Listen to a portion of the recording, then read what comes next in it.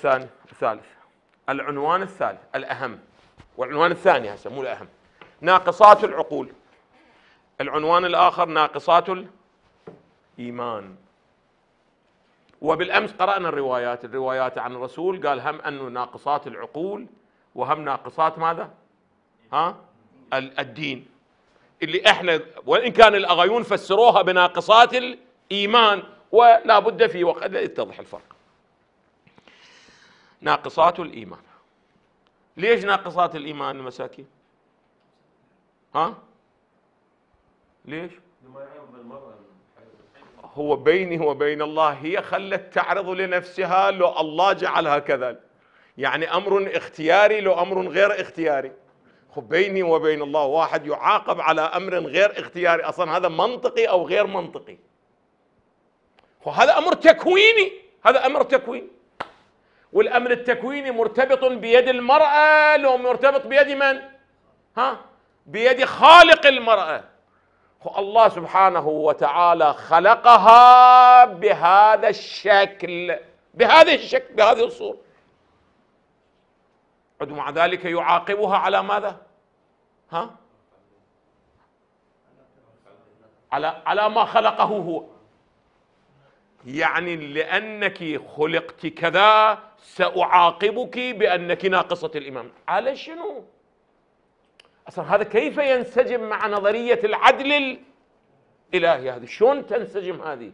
هذا اللي أنا مرارا أقوله للأعز عليكم أن تنظروا إلى منظومة المعرفة الدينية، لا تقول هاي الرواية صحيحة السند، شوفها تنسجم مع قواعد أصول الدين أو لا تنسجم، فإذا كانت لا تنسجم إذا متنها معتبر أو غير معتبر؟ غير معتبر لأنها تنافي العدل الإلهي. نقرأ عزيزي. ترتب على ذلك التفتوا لي جيدا اعزائي ناقصات العقول سفيهات والرشد في خلافهن رتبوا عليه اثرا اساسيا جدا جدا في علم الكلام. هاي روايات وإن شاء الله بعد ذلك ستتضح ونقف عند هذا البحث. لمن يريد أن يكون نبيا يمكن أن يكون ناقص العقل أو لا يمكن؟ يمكن أن يكون ناقص الإيمان أو لا يمكن. يمكن أن يكون سفيها أو لا يمكن. ومن هنا انسد باب النبوة على من؟ على الناس.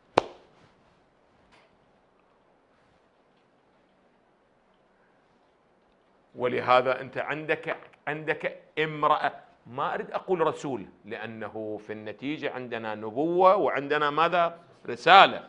الرسالة فيها بعد إجرائي تنفيذي ما أدري. عبر. أما أنا دا أتكلم الكمال الإنساني لأن النبوة مرتبط بالكمال الإنساني. يعني أن تصل إلى مرتبة تستطيع أن تتقرب إلى الله بدرجة أن تكون نبيا. تصل أو لا تصل؟ تصل أو لا تصل بعد لا تصل. ومن هنا لابد إذا إن شاء الله في وقتها صار بحث وهو أنه لابد أن نعرف أن المراه يمكن أن تصل إلى مقام النبوة أو لا يمكن. بغض النظر عن مقام الرسالة الآن نتكلم عن مقام النبوة. فمن اعتقد بهذا المنطق؟ يا منطق منطق ناقصات العقول ناقصات الإيمان سفيهات الرشد في خلافهن ونحو ذلك. قال الباب مغلق أساسا المشكلة في القابل. أصلا تصلح للنبوة أو لا تصلح للنبوة؟ ها؟ لا تصلح للنبوة. هذا الذي أنا أقوله بعد ذلك سيتضح للاعزه أنه مع أنه روايات آيات وروايات مدحت المرأة ولكن غلبوهم. يا روايات هاي الروايات. ولهذا انتهوا إلى ماذا؟ إلى عدم نبوة المرأة، لماذا؟ لو سألت لماذا؟ يقولون باعتبار أن الآن ماذا أتكلم؟ التفتوا لي ماذا أتكلم في الوقوع؟ دا أتكلم ماذا؟ في الإمكان يعني هل يمكن للمرأة أن تصل إلى مقام النبوة طبعا الوقوع يحتاج إلى دليله الخاص أنه عندنا دليل على نبوة إحدى النساء أو لا يوجد عندنا لأنه البعض يرى أن مريم ماذا ها نبية وصلت إلى مقام النبوة. ومن هنا طبعا هذا في الفكر الشيعي التفتوا لي جيدا خلوا ذهنكم هذه هذه مشكلة لابد وأن تحل في الفكر الشيعي.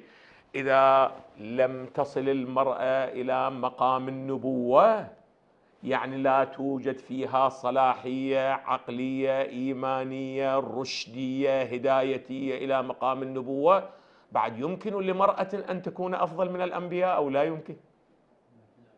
يمكن أو لا يمكن؟ هذا شو تسوي؟ لنا مشكلة. وين عندنا تصير ها؟ في سيدة نساء العالمين أحسنتم اللي جملة من أعلام الإمامية الكبار إما ذهبوا إلى أنها أفضل ممن؟ من الأنبياء السابقين جميعا بما فيهم أولو العزم إلا الخاتم. بعضهم همات تنزل درجة قال أفضل من الأنبياء إلا أولي العزم. هسه عمي مو أفضل من الأنبياء جملة من أعلام الإمامية يعتقدون بأفضليتها على أولادها مولانا. على الأئمة سلام الله عليهم. ها؟ كيف يمكن ذلك؟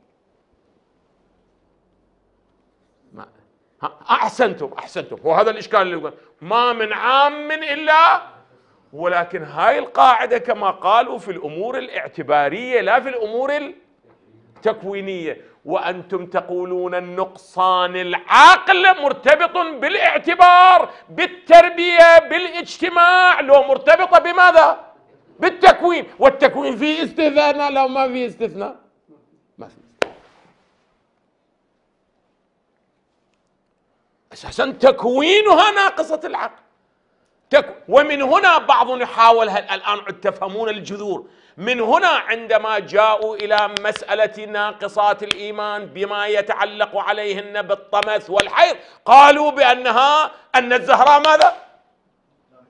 ها أحسنتم هذه من من هنا لأنه وجدوا هذه ناقصات الإيمان تصير لابد يحلوها المشكلة. شلون حلوها؟ أنها بتول. احسن جزاكم الله. شوفون الأبحاث كيف مترابطة بعضها البعض بعض ما يدري ليش ليش أكو إصرار على أنها ماذا؟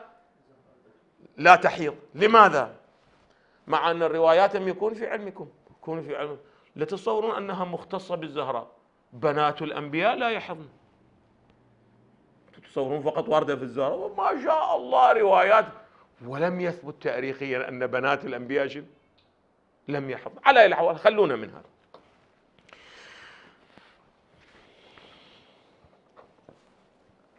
الآن وقتي بده ينتهي مولانا. أريد أقرأ لكم روايتين خاتمة هذا البحث حتى إن شاء الله بعد ذلك سندخل في أبحاث أخرى. الرواية الأولى.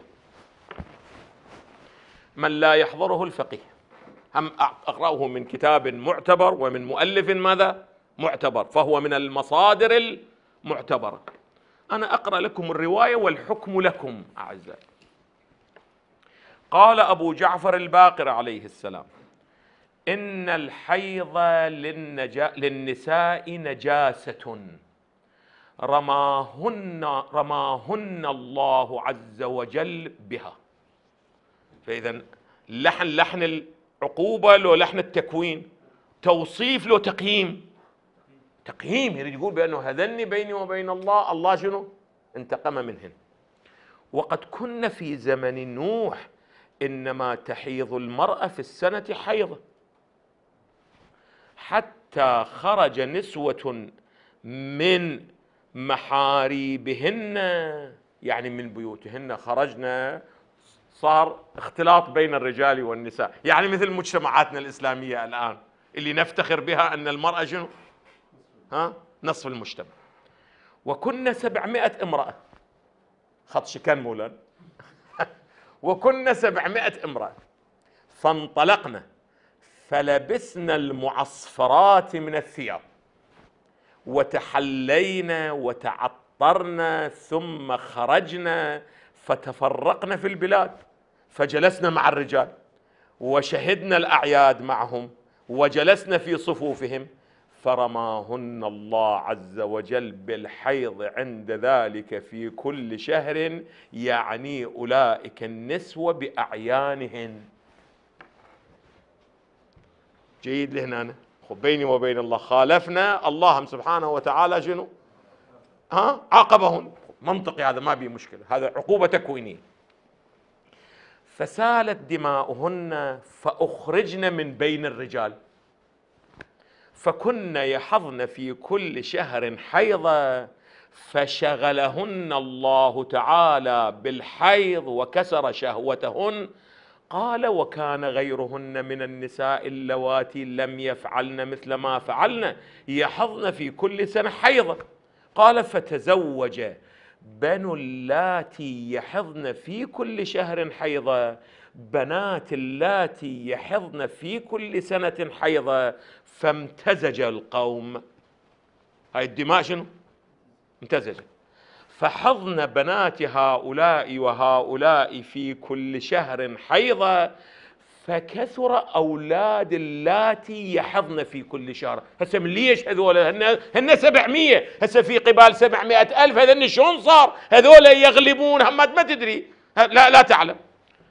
لاستقامة الحيض. قال كل في كل شهر حيض لاستقامة الحيض وقل أولاد اللواتي يحضن في كل سنة حيضة لفساد الدم فكثر نسل هؤلاء وقل نسل ماذا؟ أولئك. الآن بعد بقى من هذولاك أبو نسل أبو السنة أو لم يبقى منهم شيء؟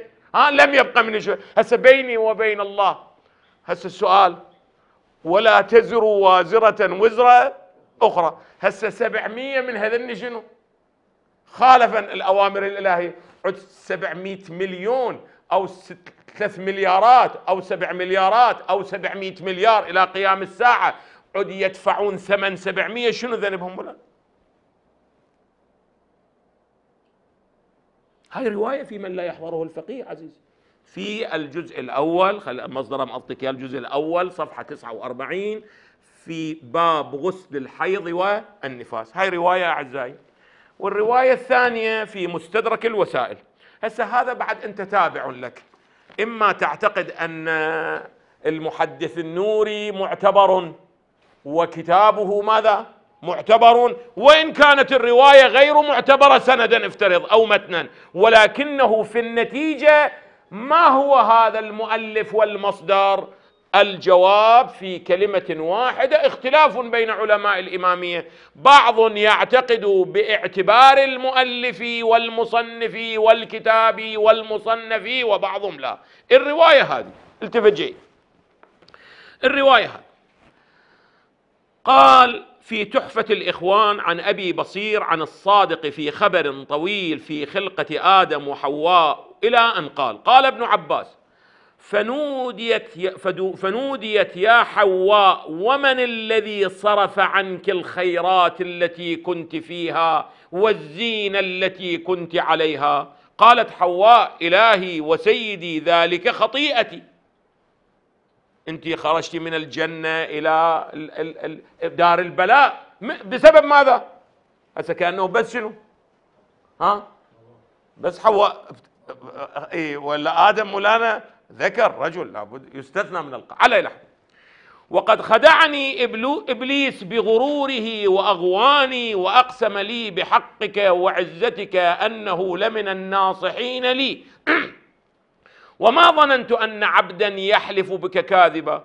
قال الآن أخرجي أبدا.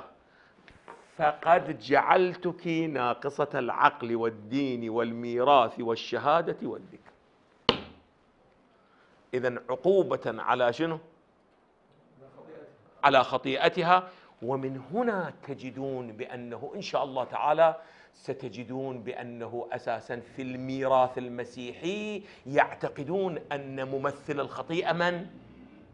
المرأة المرأة المرأة ولهذا يجتنبون من؟ يجتنبون من هسه إن شاء الله بعد ذلك سيأتي لكم أن الثقافة المسيحية شنو هي؟ الثقافة اليهودية شنو هي؟ الثقافة الفارسية قبل الإسلام شنو هي؟ الثقافة الجاهلية شنو؟ وهذه من أين جذورها؟ جذورها من مثل هذا ها؟ النظريات على أي الأحوال ومعوجة الخلق خلقة شاخصة البصر وجعلتك أسيرة أيام حياتك وأحرمنك أفضل الأشياء الجمعة والجماعة والسلام والتحية. وقضيت وقضيت عليك بالطمث وهو الدم وجهة الحبل والطلق والولادة. فلا تلدين حتى تذوقين طعم الموت. أطيح حظك من الآن إلى قيام الساعة